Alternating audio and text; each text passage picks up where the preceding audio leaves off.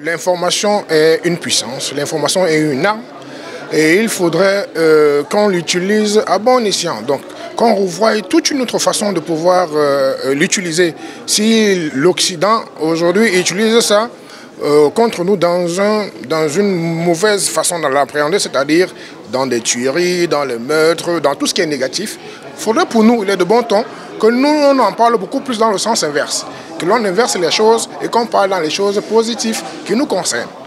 Vous voyez, l'Occident nous négativise, nous, nous devons positiviser les choses. C'est-à-dire que parlons, et non des meurtres, et non des tueries, mais parlons de ce que nous sommes, c'est-à-dire le, savoir-faire, le savoir-être africain. Et valorisons l'Afrique pour que l'Africain se sente à l'aise partout là où il est. Et c'est le moment maintenant. N'attendons pas qu'il y ait des finances pour ça. Non, que chacun à son niveau là où il est, dans, dans sa position géographique, puisse déjà parler positivement par rapport à son frère, par rapport à sa soeur. Ça change la donne. Ça change la donne. Parce que pour, pour détacher une montagne, il ne faut, pas, faut pas tout un cartépia. Non, il faut deux, trois cailloux tous les jours. Et c'est comme ça que la montagne finit par tomber.